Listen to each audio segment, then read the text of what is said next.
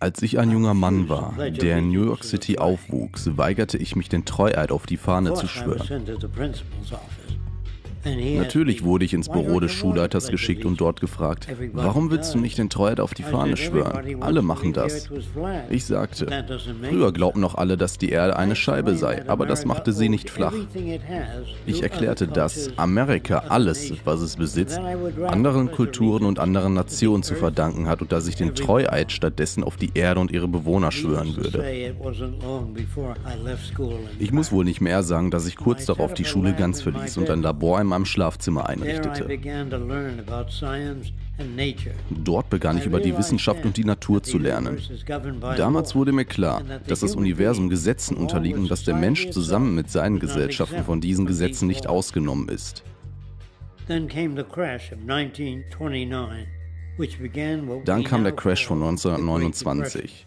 Es begann die Zeit, die wir heute die große Depression nennen. Ich fand es schwierig zu verstehen, warum Millionen keine Arbeit und kein Zuhause hatten und hungerten, während die Fabriken stillstanden.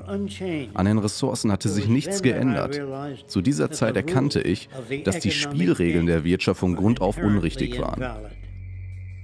Shortly after came World War II.